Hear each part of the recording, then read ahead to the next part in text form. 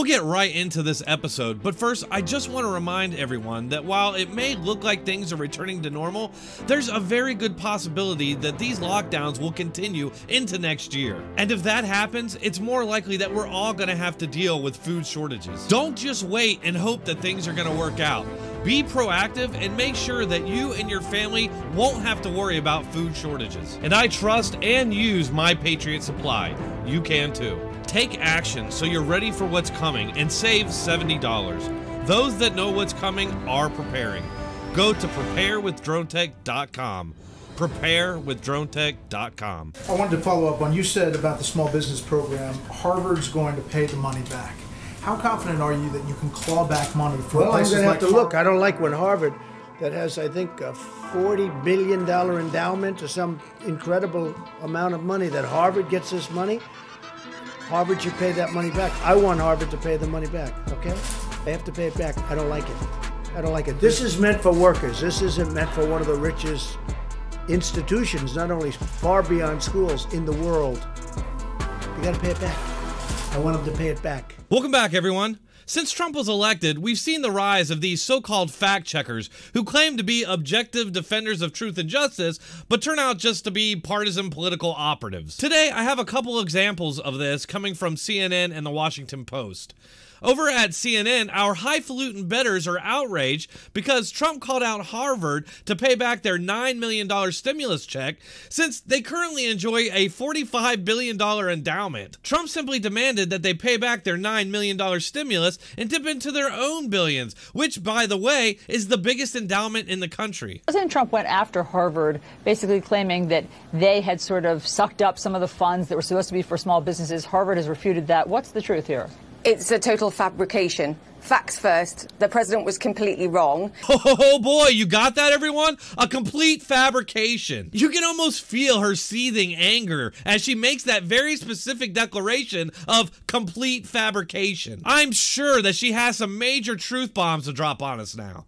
Harvard did not steal money from small businesses. Let's be clear. There was a separate multi billion dollar fund set up for educational institutions. Now, Harvard does happen to be the richest college in the world.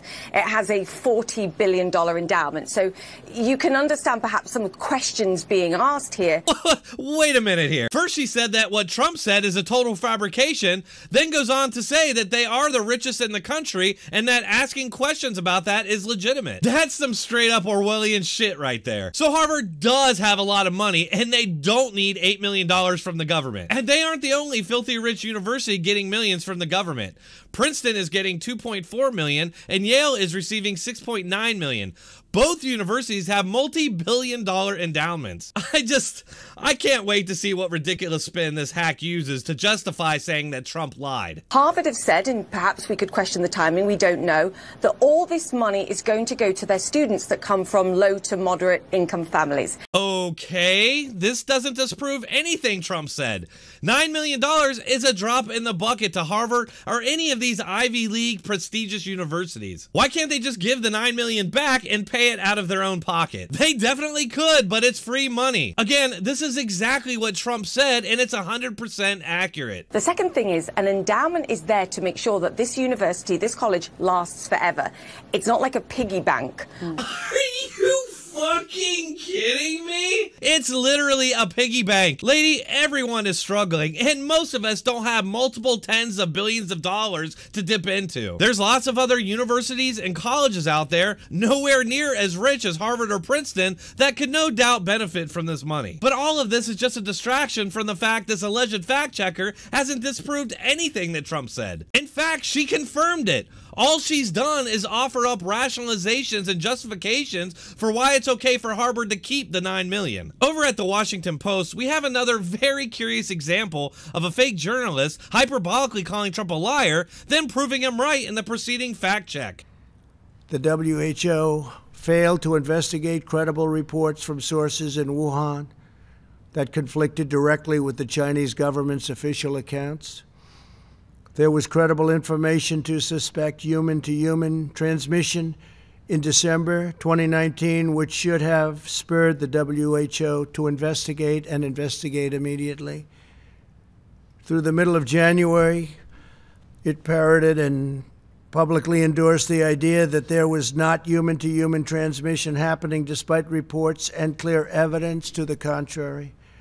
The delays the WHO experienced in declaring a public health emergency cost valuable time. Where's the lie? Everything Trump said there is true. The fake fact checker started his piece with this line For the purposes of this fact check, we will examine the part of Trump's statement that holds some credibility that the World Health Organization did not alert the world quickly that the new virus could travel among people. Okay, that seems to be the main gist of Trump's statement. So this guy goes on to lay out a timeline of the WHO's response to this outbreak, saying, through the middle of January, January, it parroted and publicly endorsed the idea that there was not human to human transmission. This conflicts with what Trump said. How? This is reminding me a lot of the other fact check that we just looked at, where a hyperbolic, over emotional pronouncement of lies is declared as if to condition the mind of the viewer. Then the fact check ends up being a bunch of spin and deflections to excuse or justify the criticisms that they claim are a lie. It's like a dollar store Jedi mind trick. The Washington Post story is behind a paywall, so I can't show you the actual article.